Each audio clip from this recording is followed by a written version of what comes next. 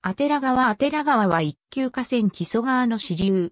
木曽川の内長野県内にある支流としては主要なものの一つである。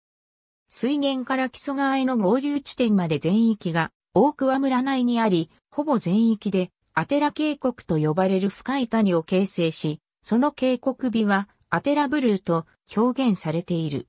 流長約 20km のうち 12.862km が管理区間になっている。アテラ川の源流は、御嶽山の南に連なるアテラ山地にある。アテラ山地は、長野県と岐阜県の県境になっており、このうち出の麹山や奥山街岳がアテラ川の源である。アテラ川は北沢峠からアテラ山の西を流れてくる北沢、砂小屋山の南から来る孫ヶ沢などを合わせながら東へ流れアテラ山と砂小屋山の間に深い谷を形成する。源流からおよそ 20km の飯森山の北東六で木曽川の読書ダム湖に合流する。アテラ川は源流の高原地帯を除いて、ほぼ全域にわたって深い谷になっている。この谷は長野県と岐阜県にまたがって長さ 80km にも及ぶ大きな活断層に沿った河口岩地帯で谷底と両岸の落差は最大で1000メートルほどもある。この峡谷は木曽川への合流地点からおよそ16から18キロメートル余りに渡って連なっており、これをアテラ渓谷と呼んでいる。渓谷内には犬帰りの淵、狸が淵、牛が淵などの名を付けられた景勝地が散在し、透明な水流によって磨かれた深淵の川床がアテラブルーとも称されるエメラルドグリーンの様を呈している。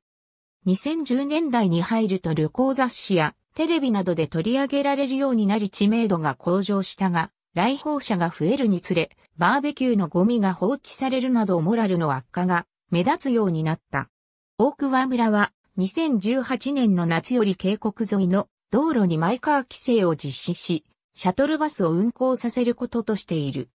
アテラ川流域には団地性植物が豊富で、昆虫や地質研究などの学術面でも見どころの多い川とされている。渓谷で見られる代表的な植物は、バイカオウレン、ダンコウバイ、ミヤマチョウジザクラ、アセビ、シャクナゲ、症状バカマ、ヒメキンミズヒキ、ツリフネソウ、ミヤマガマズミなど。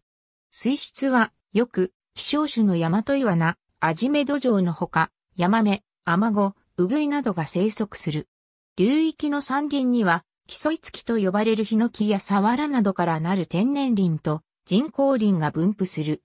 これらは国有林になっていて、基礎ヒノキの供給地になっている。また、この森林のうち5400ヘクタール余りは、伊勢神宮の神宮備え林になっている。林鉄記念碑かつてこの木材を供給するために、森林鉄道が通っていた。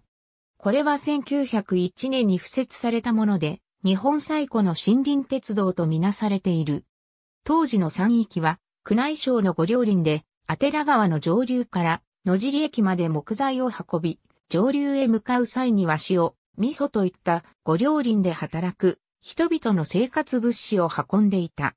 鉄道の期間は当初は 610mm だったが、後に 762mm へ拡幅された。基上は4.5から 6.0kg だった。鉄道は現存せず、今は自動車輸送となっているが、山間にはかつての鉄道橋の橋脚や橋桁が残されている。このうち、第一アテラ川橋梁は、日本森林学会による林業遺産に選定されている。このほか木曽川への合流点の 1km ほど、上流には木曽川を渡る木曽川橋梁が現存する。谷沿いには、ツツジやモミジが分布し、ヒノキの能力色と春秋のツツジの花、モミジの紅葉とのコントラストが見どころとされている。渓谷沿いには一部で遊歩道が整備されているほか、北沢の合流地点付近には、キャンプ場が整備されている。一般車両はここより上流へは通行できない。ありがとうございます。